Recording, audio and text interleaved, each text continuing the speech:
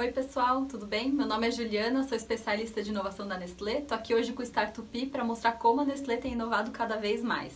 Hoje a Nestlé tem uma área de transformação digital que usa tecnologia para ficar mais próximo do consumidor e encantá-lo cada vez mais.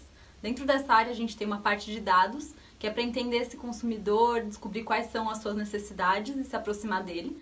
A área de digital sales, na qual a gente se aproxima dele nas vendas e consegue vender os produtos aonde quer que ele esteja e a área de inovação, que olha para novos modelos de negócio, transformação cultural. A gente está mudando a forma como as pessoas trabalham dentro da Nestlé. E inovação aberta, na qual a gente olha para fora e vê quais startups podem nos ajudar e a gente crescer junto, né? Porque trabalhando com startups, a gente junta o melhor dos dois mundos. O melhor das empre grandes empresas, que é a credibilidade, o poder de expansão, né, de distribuição, e a agilidade das startups. Então, assim, a gente faz uma mistura boa.